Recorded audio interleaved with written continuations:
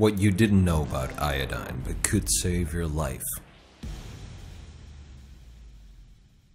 Disclaimer The information contained in this video is for informational and educational purposes only. It is not intended to be used as medical advice. The treatments described in this video should only be undertaken after careful study of the relevant facts and after consultation with your primary healthcare provider. Proper laboratory and clinical monitoring is essential for a safe and beneficial treatment. Of all the elements known so far to be essential for human health, iodine is easily the most misunderstood and the most feared. Yet iodine is the safest of all the essential trace elements. It is the only one that can be administered safely for long periods of time in high doses, as long as one understands the basics of this treatment and knows how to adapt the dose to his or her needs. Every individual is unique so everyone will have different requirements in regards to iodine or cofactors. But how much iodine do we really need? And is it necessary to supplement this trace element at all, given the fact that for the past few decades, our table salt has been enriched with iodine? Let's examine the facts. For over a hundred years, iodine has been known as a necessary element for the production of thyroid hormone. However, Iodine is needed in every single of the trillions of cells in our body, a fact rarely mentioned in the medical literature.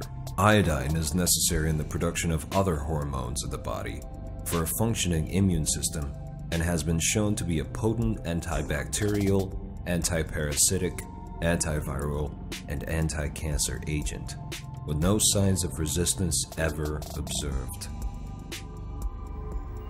Without iodine, no life is possible.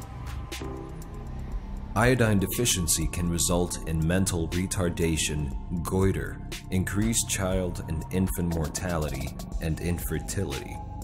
The WHO estimates that one third of the world population lives in areas of iodine deficiency, Iodine can be found in seawater, in solid rock that forms when seawater evaporates, and in sea organisms like seaweed, scallops, oysters, ocean fish, etc. If the soil has an adequate supply of iodine, crops grown on it and animals fed by it will contain adequate iodine levels.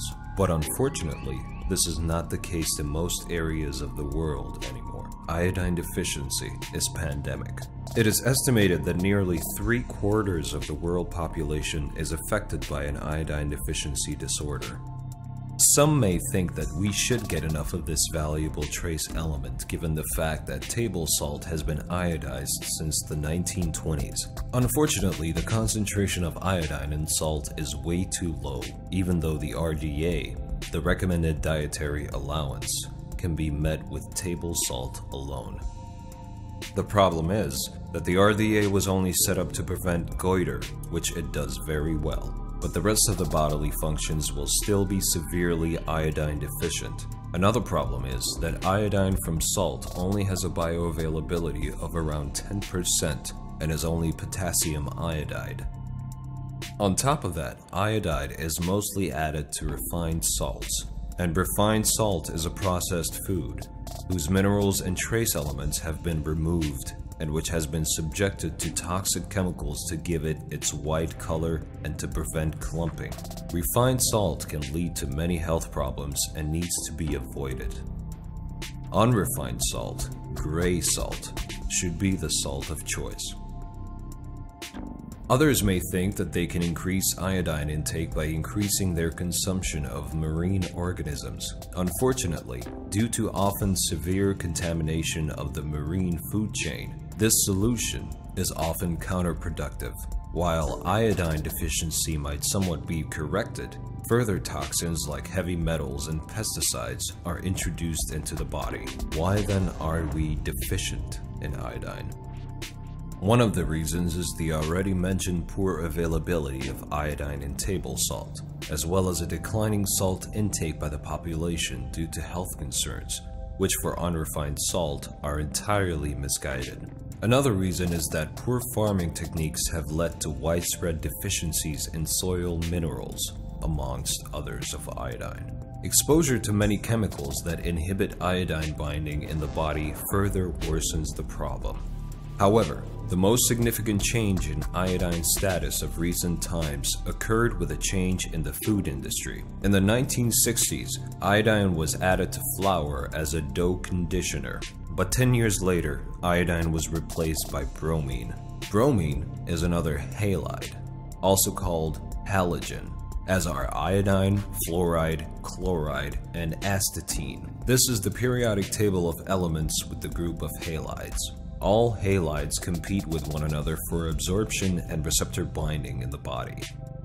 Since iodine and bromine compete with one another for absorption and receptor binding, the body can only eliminate bromine if there is sufficient iodine available. If there are a lot of halides competing for the receptor, a surplus of iodine has to be provided to the body to displace bromine from the receptors. Bromine is a toxic substance that has no use in our body and binds to iodine receptors in the breast and is a known carcinogen. In contrast, iodine is known for its anti-cancer properties. Replacing iodine with bromine and flour made a bad situation worse. Iodine deficiency has accelerated and it is now being competitively inhibited from binding to its own receptors. Unfortunately, bromine can not only be found in flour, but is used everywhere in industrially produced goods. As flame retardant, it can be found in textiles, carpets, mattresses, cars, electronics, and is also found in pesticides. The list goes on and on.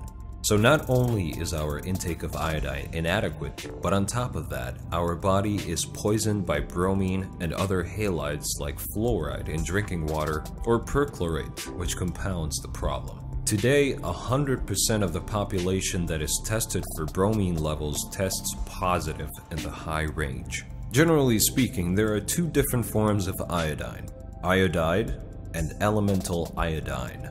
Elemental iodine is not very soluble in water, but a French physician by the name of Jean Lugol found in 1829 that potassium iodide added to water increased the solubility of iodine. He started to treat his patients with Lugol solution 5%, which holds his name to this day.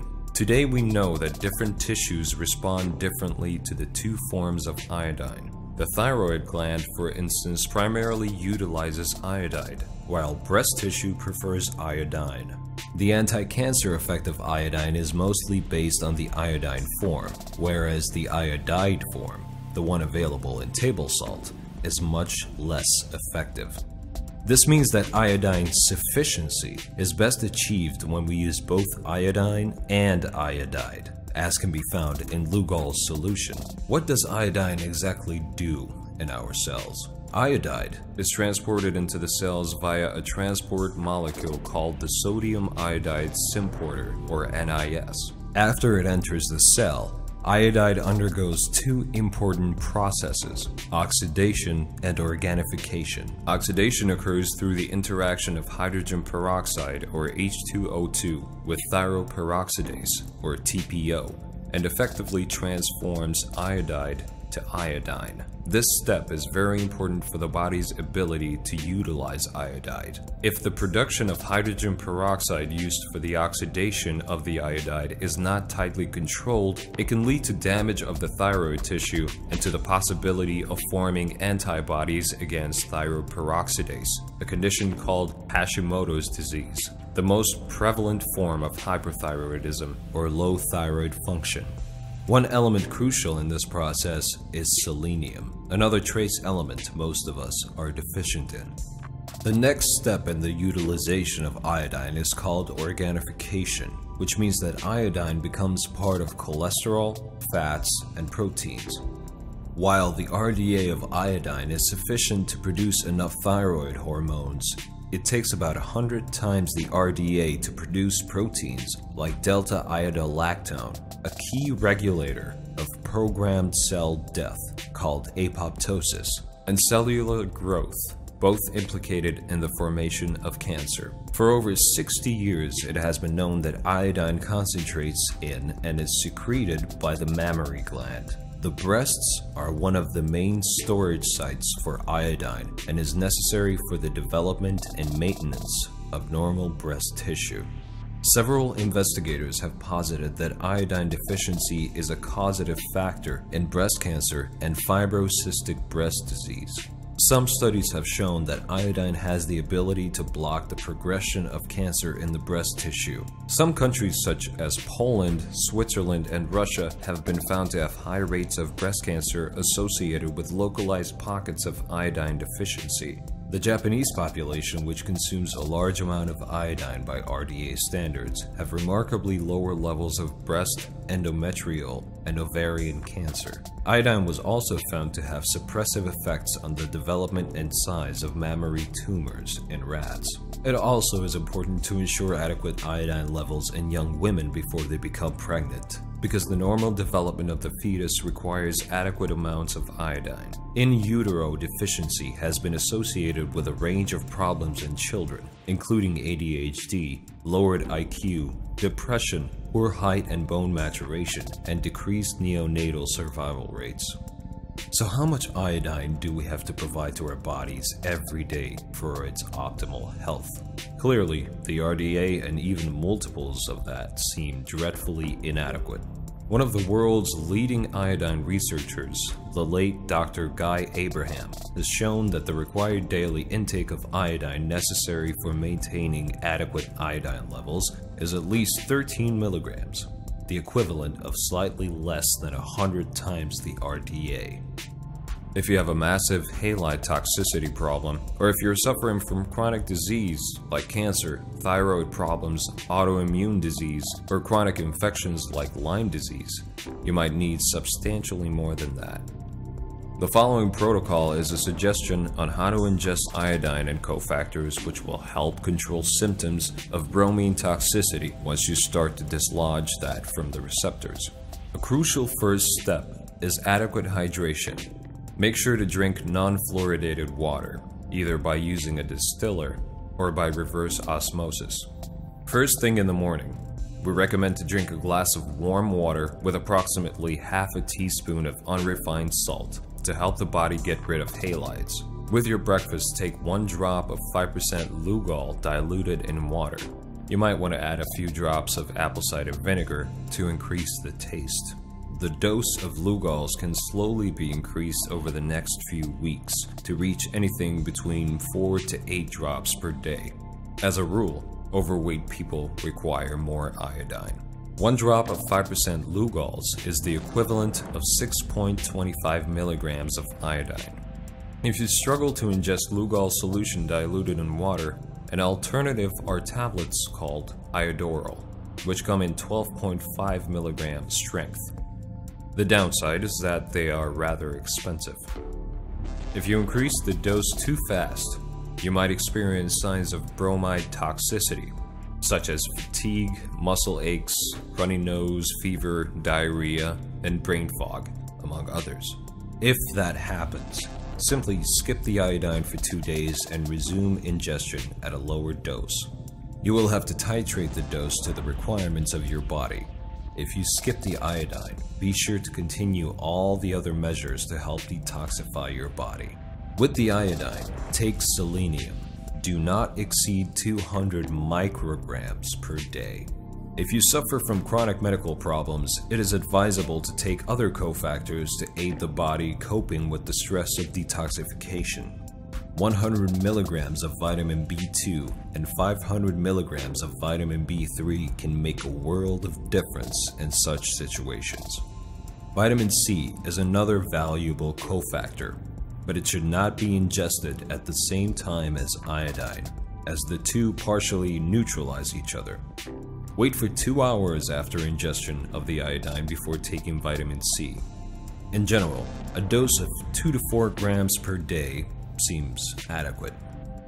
In the evening or late afternoon, have another glass of warm, salty water to aid detoxification. And you might want to take some magnesium before going to bed, preferably some chelated form like magnesium glycinate or magnesium malate. Many concerns have been voiced, chiefly among the medical establishment, about the safety of iodine. or the lack of it. One of the concerns heard most often is that high doses of iodine might induce hypothyroidism, the low functioning of the thyroid gland. Dr. Brownstein, a leading authority on iodine and author of the seminal book Iodine Why You Need It, Why You Can't Live Without It, has treated thousands of patients with iodine, and this problem has been very rare. True, initially the thyroid test TSH will rise, which might lead a doctor to suspect low thyroid function, but in the presence of normal thyroid hormone levels, T3 and T4, this is not the case. It also is a transient phenomenon. After six months of iodine supplementation, the levels tend to return back to normal. In fact, hypothyroidism is associated with low iodine levels, which will get better once iodine stores are replenished. Another concern is the exact opposite, the induction of high thyroid function, or hyperthyroidism. Again, this is even rarer and only happens in a so-called autonomous nodule or toxic goiter, thankfully, a very rare disorder.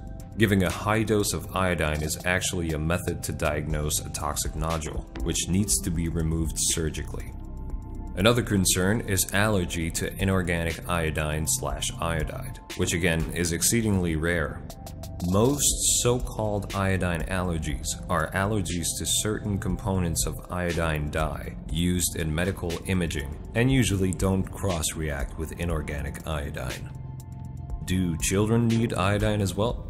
The short answer is yes. For children to have adequate iodine levels is even more important especially in regard to brain development. However, their dose needs to be adjusted to their age and weight. In any case, before you embark on this epic journey, be sure to inform yourself that this is a treatment adequate for you. I cannot emphasize enough Dr. Brownstein's book mentioned before, which addresses all aspects of this wonderful and cheap treatment. It would be ideal if you were able to find an iodine knowledgeable healthcare provider in the region where you live so that he can monitor and assist you in finding the right dose and ward off unpleasant symptoms.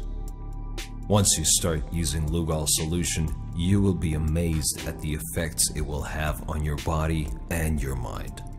It might take a bit of fine tuning, but it's well worth the effort.